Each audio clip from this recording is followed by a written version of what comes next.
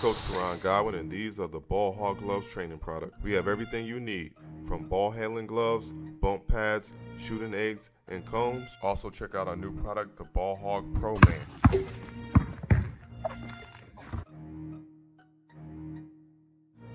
To go up against someone else. They've been going Right. each other's heads Right. in training camp.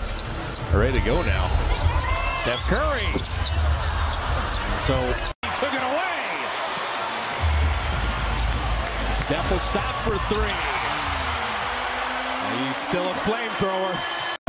He is going downhill, and Vanderbilt brought the ball down, and that's all Looting needed. I'll take that, thank you very much. And Steph, uh, he's not going to pass up too many opportunities. That Chris Paul back to Klay.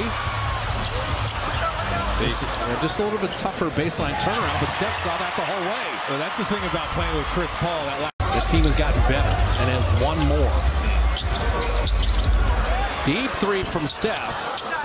Anthony Davis with the rebound. Rui Hachimura was a 29% three-point shooter.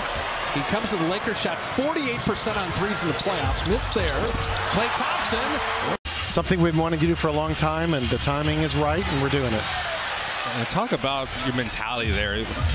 We heard you. You're like, well, we're trying to win. It's not about just getting a WA team just to do it. We're, we're trying to actually win. Prep for these things, and I didn't even say anything about the fact that I was going to say that, and I decided it uh, kind of late, but it just felt like the right thing to do. And there's our man, Steph Curry. I think we're going to be really good. I really do.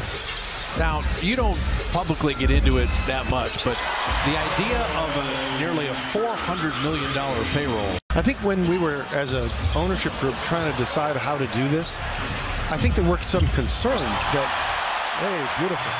There were some concerns that, you know, we might lose regular season games. And for teams like us that do pretty well at home, we, we didn't want to do that. But I